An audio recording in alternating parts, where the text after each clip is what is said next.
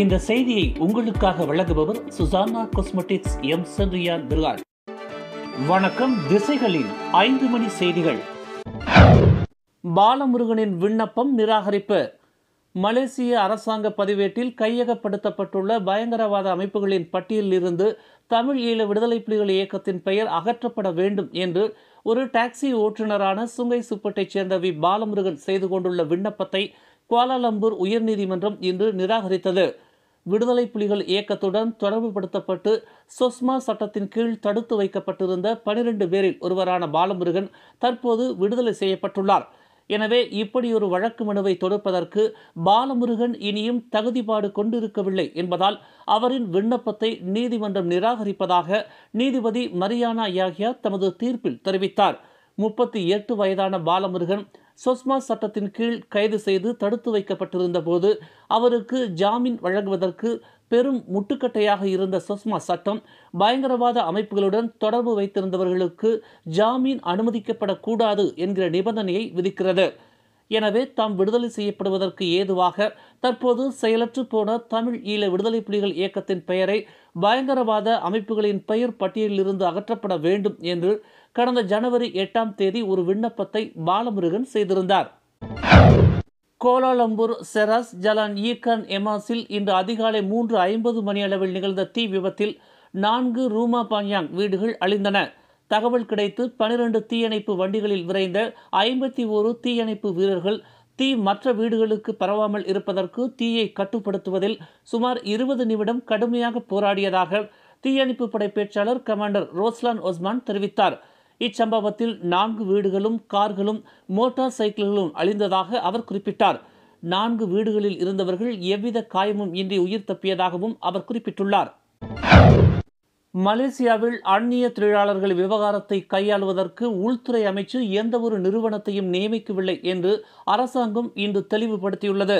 அந்நிய தொழிலாளர்களை நிர்வகிப்பதற்கு தனி நிறுவனங்கள் நியமிக்கப்பட்டுள்ளதாக கூறப்படுவதை உள்துறை அமைச்சின் தலைமைச் செயலாளர் doctor Wan Ahmad Dahlan Abdul Aziz மறுத்துள்ளார். அந்நிய தொழிலாளர்கள் சம்பந்தப்பட்ட விவகாரங்களை கையாளுவதற்கு எந்த ஒரு நிறுவனத்திடமும் கட்டணம் ஏதும் செலுத்த வேண்டாம் என்றும் அவர் கேட்டுக்கொண்டார் இதன் தொடர்பில் உள்துறை அமைச்சு போலீஸ் புகார் ஒன்றை செய்திருப்பதாகவும் வான் அகமட் குறிப்பிட்டுள்ளார்.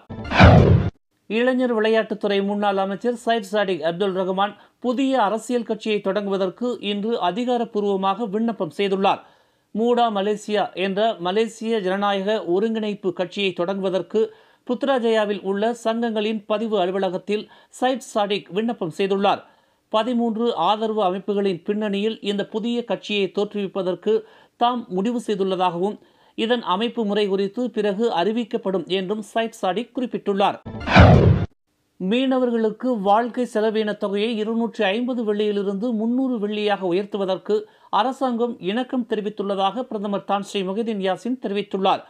பக்காத்தான் ஹராப்பான் ஆட்சியின் போது மீனவர்களுக்கான வாழ்க்கை செலவின தொகை முன்னூறு வெள்ளியிலிருந்து இருநூற்றி ஐம்பது வெள்ளியாக குறைக்கப்பட்டுள்ள வேளையில் ஐம்பது வெள்ளியை கூட்டிக் கொடுப்பதற்கு அரசாங்கம் ஒப்புதல் அளித்திருப்பதாக முகைதீன் குறிப்பிட்டார். சபா கோத்தக்கினபாலுவிலிருந்து தொண்ணூறு கிலோமீட்டர் தொலைவில் உள்ள பியாஃபோர்ட் பகண்டாங் சதுக்கத்தில் மக்கள் முன்னிலையில் உரையாற்றுகையில் முகைதீன் மேற்கண்டவாறு கூறினார். பெரோடுவா விவா கார் ஒன்று கட்டுப்பாட்டை இழந்து சாலையை விட்டு விலகி கால்வாயில் பாய்ந்து விபத்துக்குள்ளானதில் ஒருவர் மரணமடைந்தார். இதர அறுவர் படுகாயம் அடைந்தனர். இச்சம்பவம் நேற்று பிற்பகல் இரண்டு முப்பது மணி அளவில் Batu Pahat Sri Gading Kampung செங்குவாங்கில் நிகழ்ந்தது. வாகனம் ஓட்டி முப்பத்தி இரண்டு வயது முகமது ஐஷா முடீன் கஷ்முனி என்பவரே இச்சம்பவத்தில் மாண்டதாக அடையாளம் கூறப்பட்டது. இதர அறுவர் கடும் காயங்களுடன் பத்து பகாட் சுல்தானா நோரா இஸ்மாயில் மருத்துவமனையில் அனுமதிக்கப்பட்டுள்ளனர். இந்த செய்தியை உங்களுக்காக வழங்கியவர் Susana cosmetics M Sendirian Berhad. மேலும் செய்திகளை தெரிந்து கொள்ள கீழே இருக்கும் பெல் பட்டனை அழுத்துங்கள். உங்கள் மகிழ்ச்சியை வெளிப்படுத்த லைக் மற்றும் ஷேர் செய்யுங்கள். தொடர்ந்து திசைகளோடு இணைந்திருக்க சப்ஸ்கிரைப் செய்யுங்கள்.